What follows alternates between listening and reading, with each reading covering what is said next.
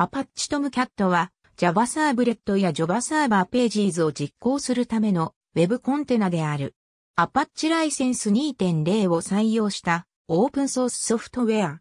2005年以降、Apache ソフトウェア財団のトップレベルプロジェクトの一つで、ある Apache Tomcat プロジェクト内で開発されている。それ以前はかつて存在していたジャカルタプロジェクト内で開発されていたトムキャット5.0からジャスパー2を含む。バージョン 8.5X は Java サーブレット3.1 Java サーバーページーズ2.3対応で。Java 7以降が必要で。バージョン 8.0X を置き換えることを目的としており。バージョン 9.0X から引き出された。新機能が含まれている。バージョン 9.0X は Java サーブレット4.0、Java サーバーページーズ2.3対応で。Java 8以降が必要である。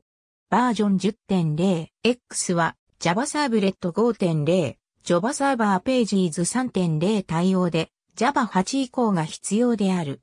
サーブレットや JSP のオフィシャルなリファレンス実装に使用されてはいるが、リファレンス実装そのものではない。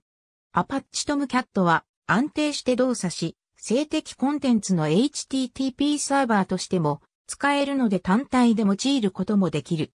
また、トムキャット以外の HTTP サーバーが HTTP リクエストを受け付け、必要に応じてサーブレットコンテナにリクエストを渡すという構成で HTTP サーバーと連携させて用いることもできる。